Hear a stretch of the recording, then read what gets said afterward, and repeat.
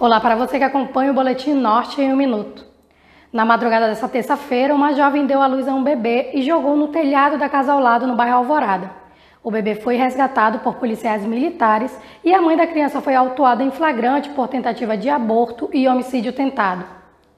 E nesta terça-feira, o governador Wilson Lima nomeou o médico paulista Thales Skincariol como titular da Secretaria Executiva Adjunta de Atenção Especializada da capital ligada à Secretaria de Saúde do Amazonas.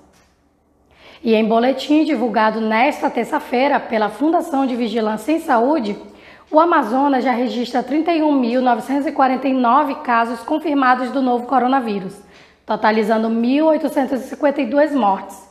4.134 pessoas com diagnóstico de Covid-19 estão em isolamento social ou domiciliar e outras 25.465 pessoas já se recuperaram da doença. Eu sou Raline Pontes, do portal Norte de Notícias.